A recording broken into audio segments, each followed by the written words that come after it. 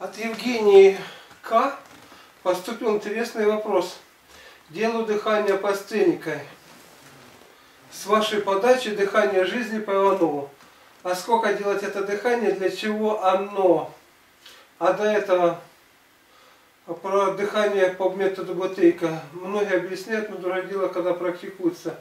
Давайте займемся дыханием Бутейка. Чего терять? Вот, мне этот вопрос показался интересным, и я Отвечаю. Дыхание БТИКа нормализует внутренние среды и за счет этого улучшает, вернее нормализует работу каждой клетки нашего организма. Э, это ведет к тому, что в каждой клеточке начинают ферменты работать так, как положено. То есть этим самым мы восстанавливаем фундамент, фундамент своего здоровья. Почему оно так благотворно и влияет? Когда мы накапливаем с вами углекислоту, которая приводит к тому, что лучше усваивается кислород и нормализуется, создается та среда в организме, в клетках, которая нужна для наиболее лучшей работы клеток. Ясно. Э, как его делать и значит его желательно вначале делать почаще, там я там сказал, как там вообще делать для того, чтобы выйти на уровень, ну, примерно, Бутейка говорит, вот хотя бы, чтобы вы э, задерживали дыхание на одну минуту. Ну, хотя бы вы вышли на уровень задержки, вот это вот э, такая пауза у вас была, естественно, без особых насилий, 30-40 секунд. Дойдете до минуты, это, как говорит Бутейка, будет отлично. И далее, то есть вначале вы тренируетесь, тренируетесь, значит, часто делаете. А, может, можно заниматься раз 10 в течение дня, минут там по 5, примерно так, можно чуть там больше. Вот, когда вы достигаете вот этого вот уровня, дальше вы просто-напросто эту задержку поддерживаете. Поддерживать ее надо в течение, увы, всей жизни, если вы хотите оставаться супер здоровым. Дыхание Пострельникова. Дыхание Пострельникова делается тогда, когда нам надо, так сказать, капитально насытить организм энергией.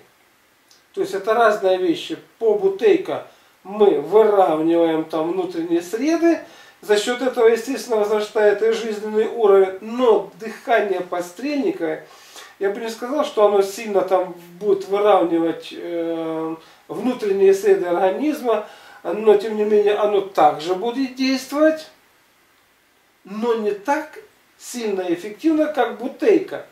Но что касается набора энергетики, она действует намного эффективнее. То есть, когда вам надо вот восстанавливаться, когда вам надо чувствует себя в течение дня, будем говорить, вот, э, активным. Как часто его делать? Его делать можно раза 3-4 в течение дня. А, ну, поскольку там минут, там, там в основном вдохи идут, ну так, грубо говоря, где-то минут 5, максимум 10. Тоже не так долго. Это дыхание быстро насыщает энергии, тем более, что вы будете это делать через э, перерывы. В смысле, как э, через перерыв. Вы это будете делать как подход. Сделали подход, допустим, грубо говоря, там 100 вдохов, отдохнули. Сделали 100 вдохов, отдохнули. И так раза 3-4, все. Вот одна тренировка. Это дыхание делается, повторяюсь, тогда, когда вам надо, чтобы вы были э, как живчик. То есть оно очень здорово насыщает организм энергией. Его можно также делать в течение всей жизни, но в основном тогда, когда возникает потребность. Наконец-таки вдохи жизни по Иванову. Человек устал, и вот он сделал этот вдох и сразу же, будем говорить, восстановился. Как правило, они делаются вот по мере необходимости. То есть в них нету такой надобности, чтобы регулярно делать.